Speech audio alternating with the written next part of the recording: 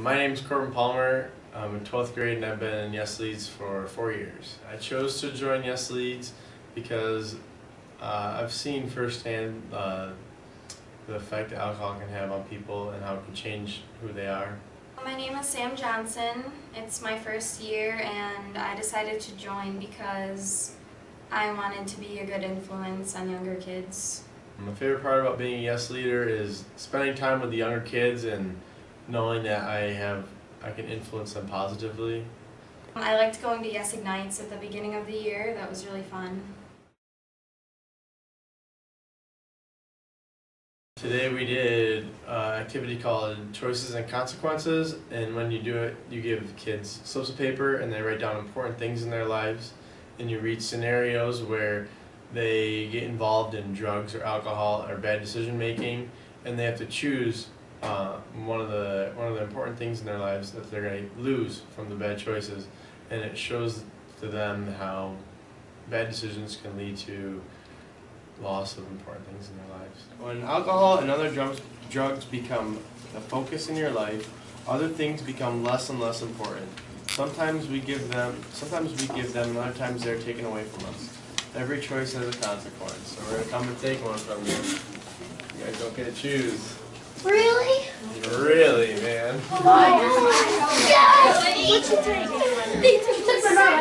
We did an activity called the spoon and penny activity where we had one of we had the kids line up and they had to pick up the penny with the spoon and pass it along to each other. And then they did it another time with their non-dominant hand, and then they did it another time with their eyes closed.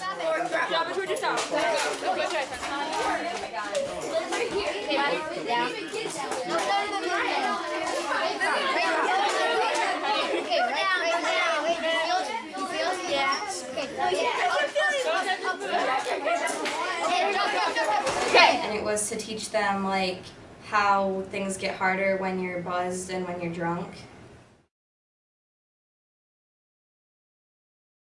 When we go in and give the presentations, the kids are usually happy and excited to see us because we're older than them and they look up to us.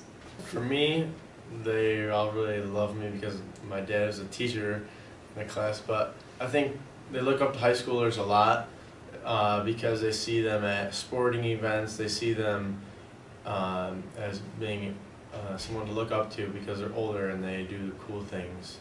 And I think it's the students' jobs, therefore, to uh, mm, positively influence them in making the right choices.